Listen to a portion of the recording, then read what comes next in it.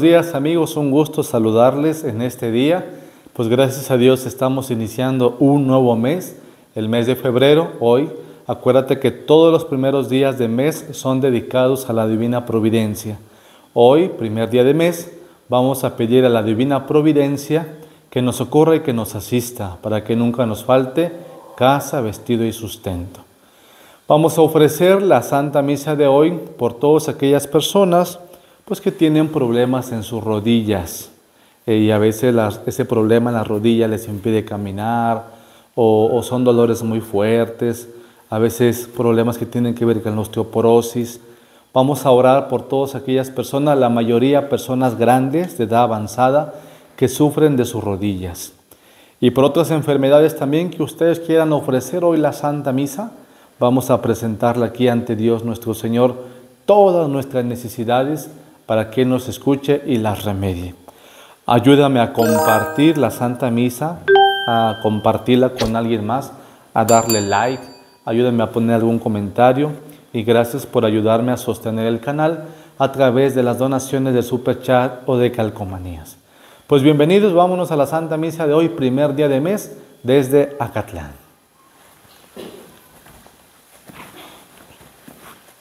Reverencia.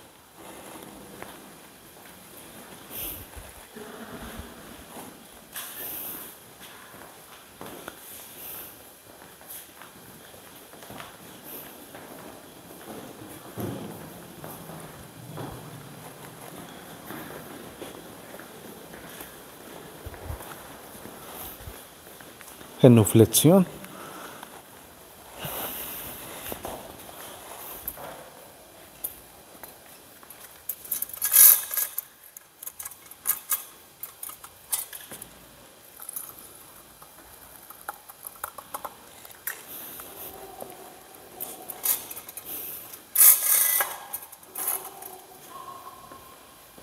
Reverencia.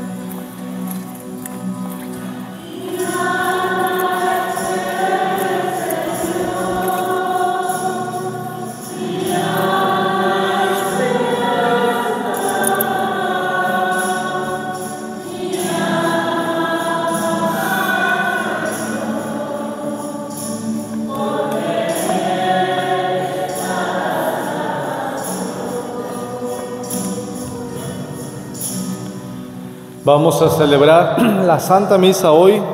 Vamos a presentarle a Dios nuestras necesidades y vamos a ofrecerla pidiendo por el eterno descanso de Paula Pintor Felipe.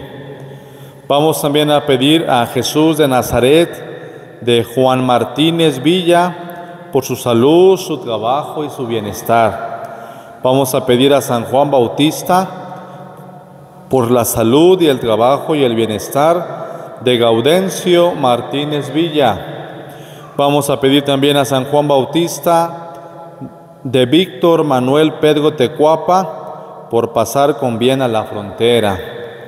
Vamos a pedir por los hijos ausentes, por todos los que se van buscando pues una mejor calidad de vida para su familia y luchan allá, trabajan, cruzan la frontera, pero que nunca se olviden de su tierra, de su patria, de su familia, porque es muy triste saber de personas que ya llevan años allá, se fueron y ya hicieron su familia allá, tuvieron sus hijos y a su tierra no regresan, solamente regresan muertos. Cuando mueren ahora sí los quieren traer. No, antes de que se mueran, que tengan esa oportunidad de regresar a su tierra, a su patria, con su familia. Por eso vamos a pedir por todos los hijos ausentes. También estamos pidiendo hoy por todas las personas que tienen problemas con sus rodillas, que les duelen, la mayoría son personas mayores. Luego voy a preguntar o, visito a viejitos, ancianitos, y le pregunto, ¿y por qué ya no va a misa? Y me dice, es que me duelen mucho mis rodillas. Casi todos me dicen eso, me duelen mucho mis rodillas. Así es que oramos por aquellas personas que tienen problemas de sus rodillas, de articulaciones o de osteoporosis, para que pronto encuentren la salud de su cuerpo y de su alma. En el nombre del Padre, del Hijo y del Espíritu Santo, la gracia de nuestro Señor Jesucristo, el amor del Padre, la comunión del Espíritu Santo estén con todos ustedes. Vamos a guardar un momento de silencio y vamos a disponer nuestro corazón para celebrar dignamente los sagrados misterios. Pidamos perdón.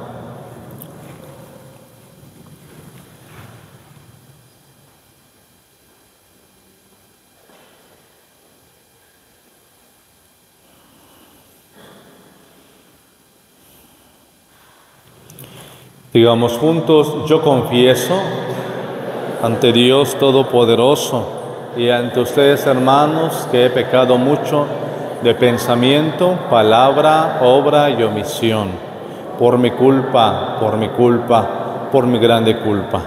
Por eso ruego a Santa María, siempre Virgen, a los ángeles, a los santos y a ustedes hermanos que intercedan por mí ante Dios nuestro Señor. Dios Todopoderoso, tenga misericordia de nosotros, perdone nuestros pecados y nos lleve a la vida eterna.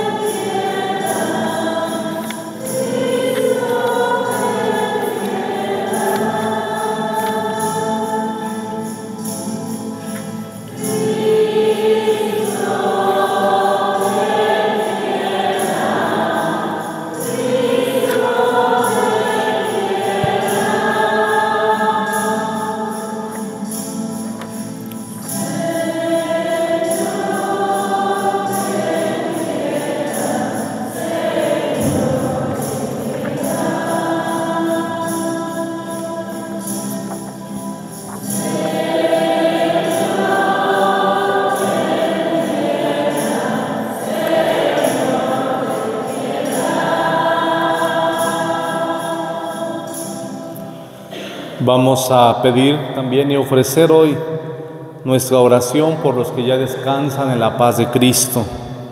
Por Lucio Chacón de la Cruz, que hace seis meses tuvo su encuentro con el Señor. También por Maura Laguna Hilario, que ha tenido ya su encuentro con el Señor. Oremos. Señor Dios, que has preparado bienes invisibles, para los que te aman. Infunde en nuestros corazones el anhelo de amarte, para que amándote en todo y sobre todo, consigamos tus promesas que superan todo deseo. Por nuestro Señor Jesucristo, tu Hijo, que vive y reina contigo en la unidad del Espíritu Santo y es Dios, por los siglos de los siglos. Tomen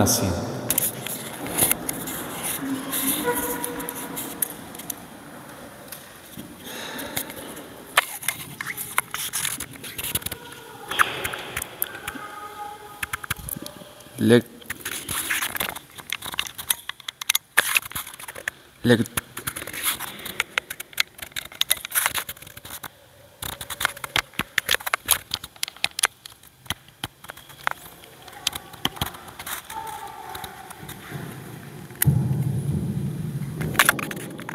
Lectura del libro del profeta de los reyes. En aquel tiempo, sintiendo que se acercaba el día de su muerte, David le hizo estas recomendaciones a su hijo Salomón. Yo ya me voy por el camino de todos los mortales. Ten valor y sé de todo un hombre. Cumple los mandamientos del Señor, tu Dios. Camina por sus sendas y observa sus preceptos, órdenes, decretos e instrucciones, tal como están escritos en la ley de Moisés. Si haces esto, tendrás éxito en todas tus empresas y el Señor cumplirá la promesa que me hizo al decirme, si tus hijos me son fieles a mí, el Señor, y cuando cumplen sinceramente mi voluntad con todo su corazón y con toda su alma, no te faltará un descendiente en el trono de Israel. Cuando el rey David murió, lo sepultaron en la llamada ciudad David. Reinó sobre Israel durante 40 años, siete en Hebrón y 33 en Jerusalén. Su hijo Salomón los, sucedió en el trono y su reino se consolidó. Palabra de Dios.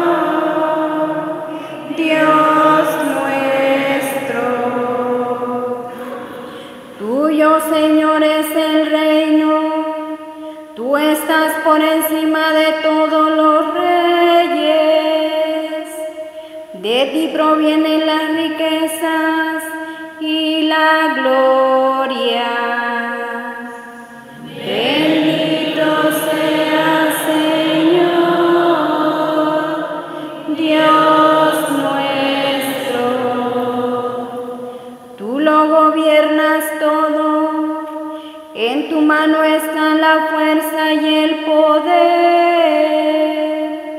y de tu mano proceden la gloria y la fortaleza.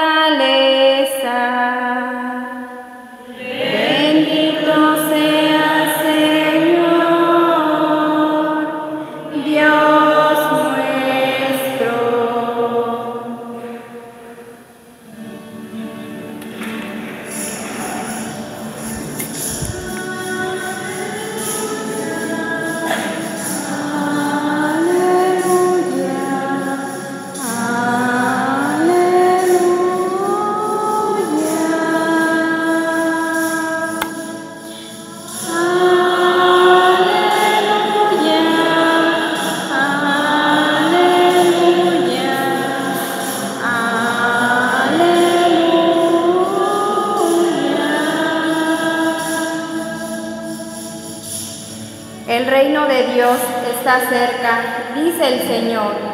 Arrepiéntanse y crean en el Evangelio.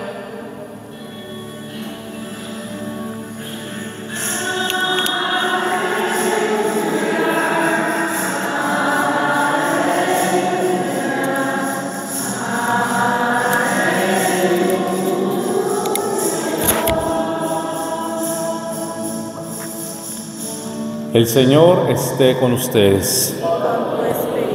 Proclamación del Santo Evangelio según San Marcos. Gloria a ti, Señor.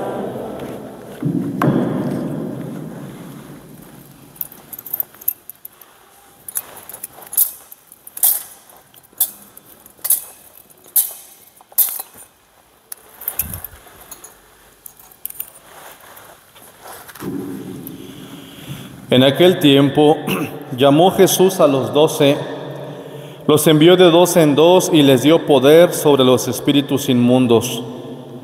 Les mandó que no llevaran nada para el camino, ni mochila, ni pan, ni dinero en el cinto, sino únicamente un bastón, sandalias y una sola túnica. Y les dijo, cuando entren en una casa, quédense en ella hasta que se vayan de ese lugar. Si en alguna parte no los reciben ni los escuchan, al abandonar ese lugar, sacúdanse el polvo de los pies como una advertencia para ellos. Los discípulos se fueron a predicar el arrepentimiento y expulsaban a los demonios.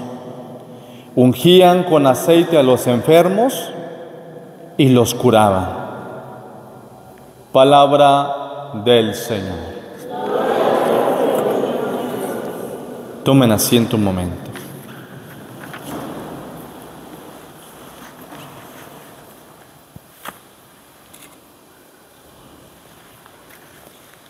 ¿Alguna vez has pensado en el momento de tu muerte? ¿Si han pensado en el momento de su muerte o no? Casi no nos gusta pensar en eso, ¿verdad? Como que nadie, como que dicen, ay, ojalá esté muy lejos eso. Pero la realidad es que, ¿quién sabe?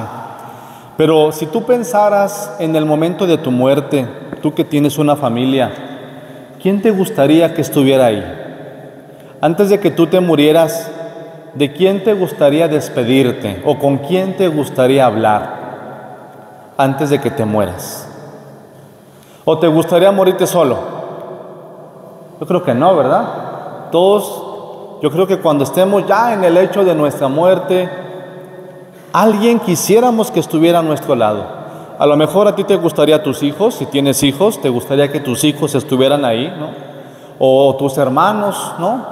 O tus papás, porque a lo mejor alguno de nosotros va a morir joven, ¿no? A lo mejor con sus papás todavía vivos, no lo sabemos.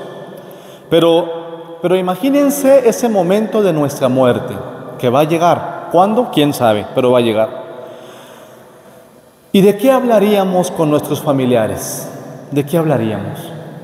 ¿Qué es como que lo último que tú le recomendarías a tu familia antes de que te mueras? ¿Qué sería? ¿Has pensado? ¿Qué es lo último que tú hablarías con tus familiares antes de que te mueras? de la caridad, del amor, de la oración, del corazón, de la oración. Vean, yo algo que tengo muy presente de mi abuelito, que ya en paz descansa él, él siempre, siempre, siempre, cuando vivía a mis tíos, a mis papás, a mis tíos, siempre nos decía, unidos hijos, unidos, nunca desunidos, siempre unidos. Y vean, ese consejo de mi abuelito que en paz descanse sirvió mucho. Porque les puedo decir hoy en día que en mi familia no tenemos divisiones con mis tíos. Gracias a Dios todos mis tíos nos hablamos. Y, cuando se presenta un problema para ayudar a un familiar enfermo o ayudar a alguien que cayó en los vicios de la familia, la familia se reúne. Gracias a quién? Pues a mi abuelito, ¿no? Que cuando vivía siempre dijo, unidos, hijos unidos. Es lo único que les pido, que cuando yo me vaya, decía mi abuelito, los quiero ver unidos. Y su deseo se cumplió. Su deseo de él se cumplió porque aunque ya no está, pero toda mi familia, mis tíos, se frecuentan, no se ven, se buscan. ¿Por qué les estoy hablando de esto? Porque hoy la primera lectura nos está hablando de un personaje llamado David. Y dice que David ya siente que se está muriendo. Dice David, estas son las últimas recomendaciones que les dejo, porque ya se acerca el día de mi muerte. David le deja unas recomendaciones a su hijo Salomón. ¿Y qué le deja? ¿Qué le dice? Le dice a Salomón, cumple los mandatos del Señor, camina por sus sendas, observa sus preceptos. Y vean qué interesante, porque David era un hombre muy poderoso, demasiado rico. No le dijo, cuida las ganancias del banco. Tampoco le dijo a, a su hijo Salomón, te encargo las propiedades que tengo allá en el rancho o te encargo las casas que están a nombre de nosotros. No le habló de dinero, fíjense, o sí. Y siendo rico y siendo poderoso. David, el rey, siendo tan poderoso con tanto dinero, no le habló a su hijo nunca de dinero ni de poder. Le dijo antes de morir, cumple los mandamientos de Dios. Eso es lo único que le dijo. No le dijo, te encargo la cuenta bancaria, ni no te la gastes. No, no, no, no. Solamente le está diciendo, cumple los mandatos de Dios. Y entonces sí, ahí está la clave. Todas tus empresas tendrán éxito. ¿Por qué? ¿Por qué David antes de morir no habló de dinero, no habló de poder, si tenía bastante? ¿Por qué no lo hizo? Porque él sabía que el dinero, el poder, la grandeza provienen de cuando primero se cumplen los mandatos del Señor. Por eso. Una persona que busca a Dios le va bien.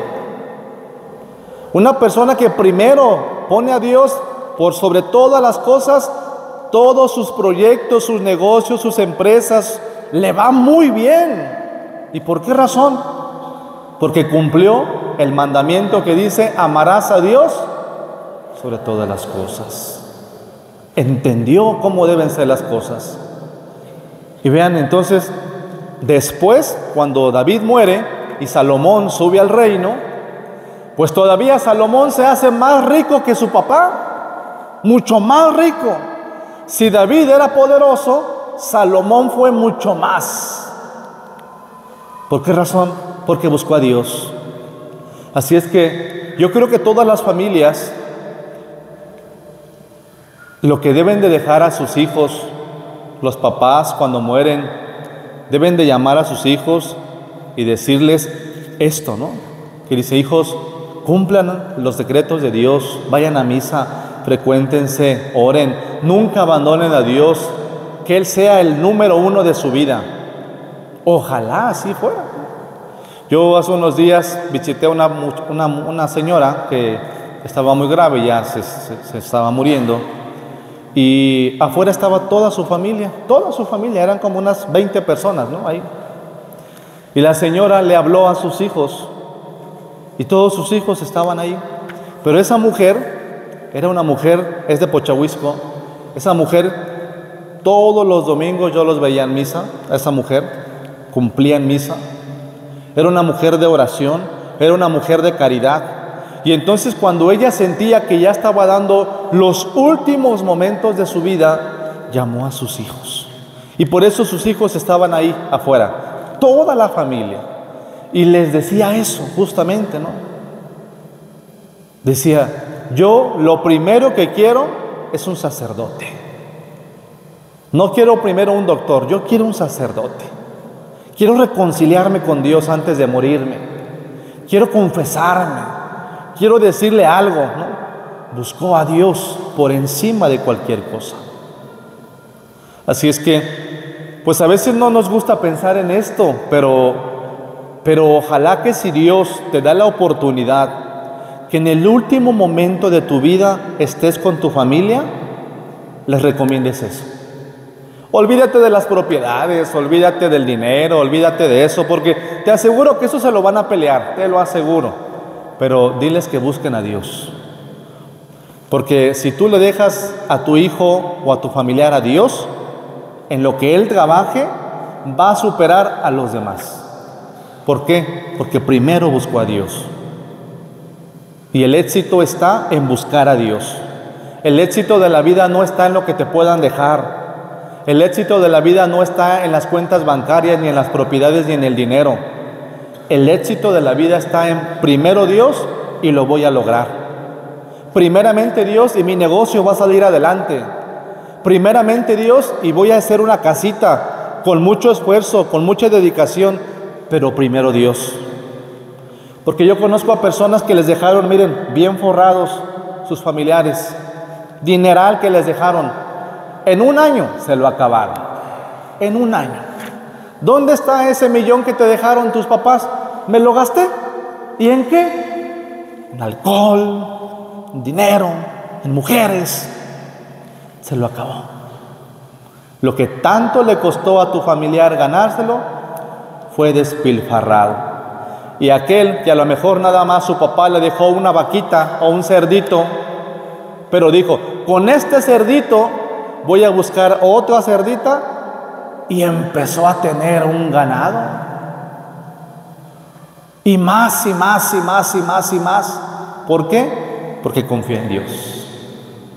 Así es que vean cómo David le deja a Salomón, a su hijo, esta gran recomendación. Y después, pues Salomón se hace el rey más poderoso que su padre David. Que Dios nos ayude a todos. Sigan sentados, vamos a hacer el canto del ofertorio.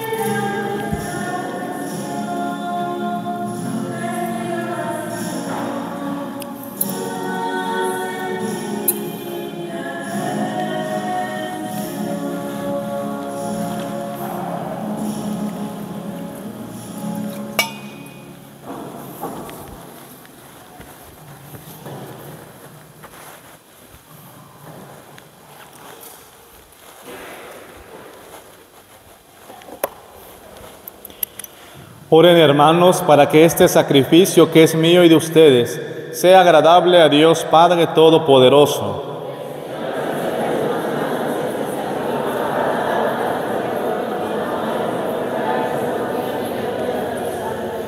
Señor, que con un mismo y único sacrificio adquiriste para ti un pueblo de adopción, concede propicio a tu iglesia los dones de la unidad y de la paz.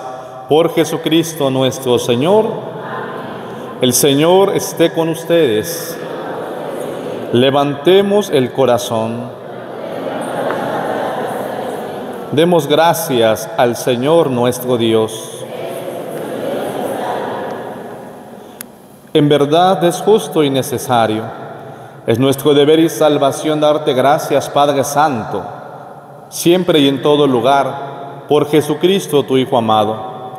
Porque Él es tu palabra, hiciste todas las cosas, tú no lo enviaste para que, hecho hombre por obra del Espíritu Santo y nacido de María la Virgen, fuera nuestro Salvador y Redentor.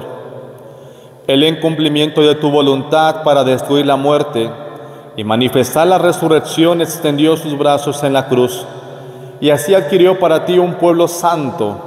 Por eso, con los ángeles y los santos proclamamos tu gloria diciendo.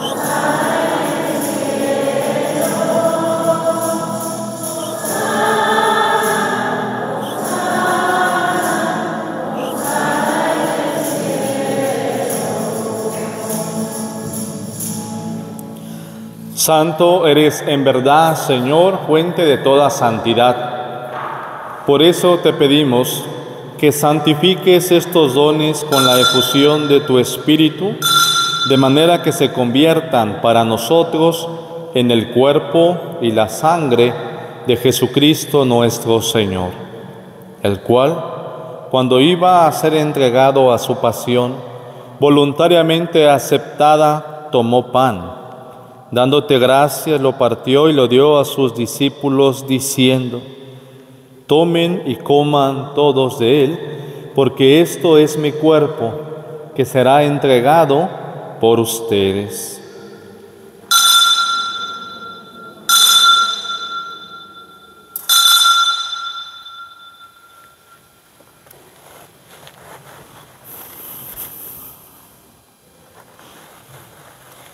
Del mismo modo, acabada la cena, tomó el cáliz y dándote gracias de nuevo lo pasó a sus discípulos diciendo, tomen y beban todos de él, porque este es el cáliz de mi sangre, sangre de la alianza nueva y eterna, que será derramada por ustedes y por muchos para el perdón de los pecados. Hagan esto en conmemoración mía.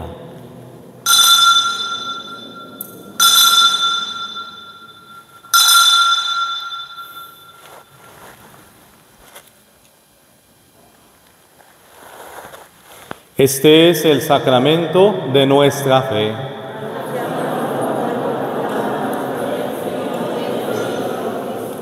Así pues, Padre, al celebrar ahora el memorial de la muerte y resurrección de tu Hijo, te ofrecemos el pan de vida y el cáliz de salvación y te damos gracias porque nos haces dignos de servirte en tu presencia. Te pedimos humildemente que el Espíritu Santo congregue en la unidad a cuantos participamos del cuerpo y la sangre de Cristo. Acuérdate, Señor, de tu iglesia extendida por toda la tierra, y con el Papa Francisco, con nuestro obispo José de Jesús, y todos los pastores que cuidan de tu pueblo, llévala a su perfección por la caridad. Acuérdate también de nuestros hermanos que se durmieron en la esperanza de la resurrección, de Lucio Chacón de la Cruz y de Maura Laguna Hilario, y de todos los que han muerto en tu misericordia, admítelos a contemplar la luz de tu rostro. Ten misericordia de todos nosotros y así con María, la Virgen, Madre de Dios, con San José su esposo, con los apóstoles y cuantos han vivido en tu amistad a través de todos los tiempos, merezcamos por tu Hijo Jesucristo compartir la vida eterna y cantar tus alabanzas. Por Cristo, con Él y en Él, a ti Dios Padre Omnipotente, en la unidad del Espíritu Santo, todo honor y toda gloria por los siglos de los siglos. Vamos a orar juntos con la oración que Cristo nos ha enseñado. Padre nuestro, estás en santificado sea tu nombre, venga a nosotros tu reino, hágase tu voluntad, tierra como en el cielo. Danos hoy nuestro pan de cada día Perdona nuestras ofensas como también nosotros perdonamos a los que nos ofenden. No nos dejes caer en tentación y líbranos de todo mal. líbranos de todos los males, Señor, y concédenos la paz en nuestros días, para que, ayudados por tu misericordia, vivamos siempre libres de pecado, protegidos de toda perturbación, mientras esperamos la gloriosa venida de nuestro Salvador Jesucristo.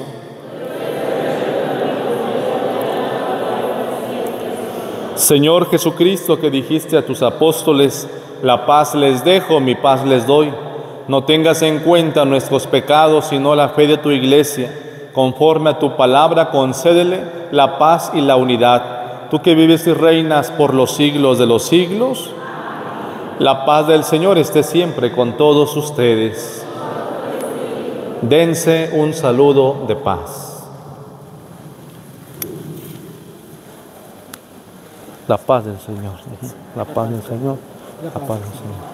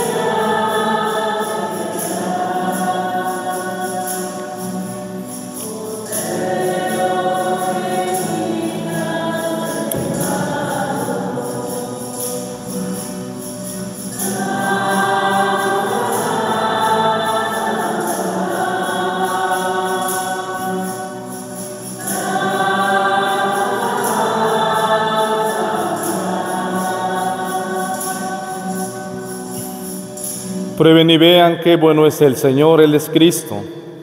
Es el Cordero de Dios que quita el pecado del mundo. Dichosos nosotros invitados a este banquete del Señor.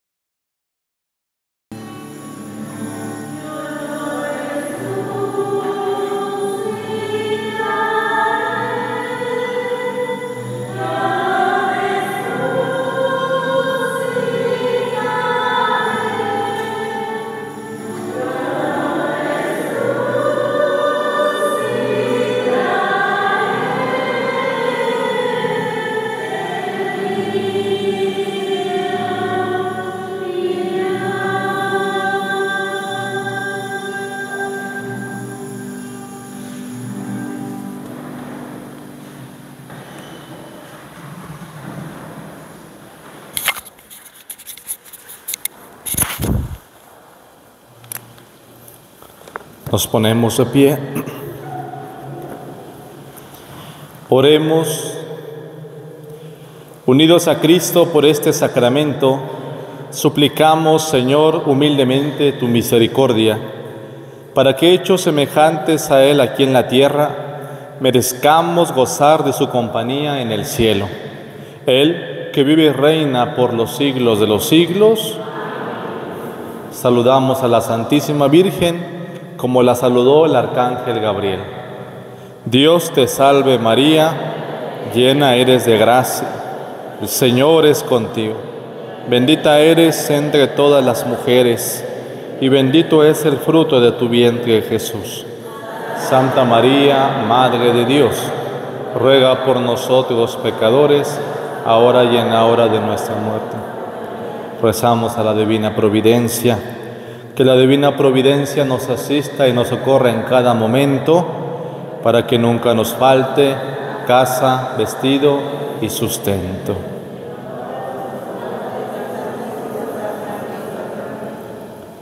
El Señor esté con ustedes. La bendición de Dios Todopoderoso, Padre, Hijo y Espíritu Santo, descienda sobre ustedes y permanezca para siempre. En la alegría del Señor podemos ir en paz. Que tengan buen día, que Dios les bendiga a todos.